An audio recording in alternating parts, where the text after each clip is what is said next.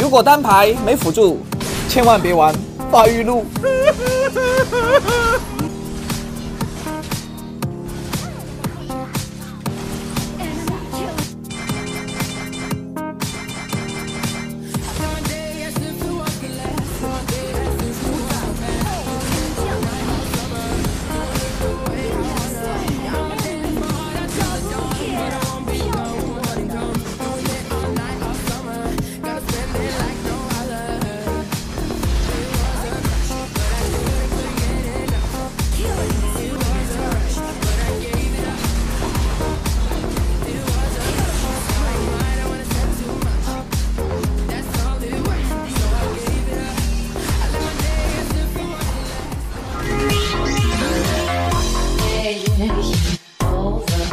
伽罗，一个曾经的射手路的神，但是最近这几个赛季嘛，可惜了，这不光是跌落神坛那么简单，他甚至是成了过街老鼠，人人喊打。只要你敢选，对面就是四五个人针对你，游戏体验太差了。但是最近我惊讶的发现，在挑战者杯上，来自我们本地的长沙战队 TES 的小鹏，他就选了伽罗，而且职业比赛上的伽罗和我排位里的遭遇是一模一样，从头到尾被围追堵截。但是跟我不一样的是，他们家辅助全程保他，他这个输出环境简直太安逸了，并且发育起来以后，小鹏也是不负众望，不但是把伤害打出来了，还拿了一波四杀。兄弟们，职业比赛上伽罗四杀，这是多么罕见啊！而且这一波还被对面给先手了，先后被打出了太乙的复活、自身的复活甲，两次复活以后站起来四杀。天呐，兄弟们，这一波直接梦回 S 一十八，我仿佛看到了伽罗再一次成为了神。依然记得那个夏天，长臂猿大战吸血怪，那是多少人的梦魇，那是多少人的青春啊！看完这场比赛以后，我瞬间悟了，长臂猿的时代还没有走，他依旧是那么强，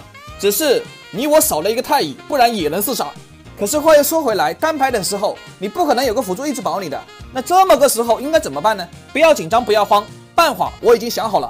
主二负一，四级以前守塔清线，而四级以后不要去等对面来边路抓你，咱们主动一点去中路打架，这样很容易把小团逼成一个大团，也就意味着敌方的中路辅助、打野、射手四个人打你一个的场面不复存在了。毕竟队友可能不会主动支援你，但是你往中路跑，首先第一点，中路他是要吃线的，他不太可能会把线让给你，所以你有了一个队友了。第二，打野最喜欢蹭的就是中路线，所以这第二个队友你就有了呀。第三点，你们家辅助无论是中路打野还是射手，他总得跟一个吧？那你看，这不就四个人齐活了吗？那这个局面，对面再想针对你可就难喽。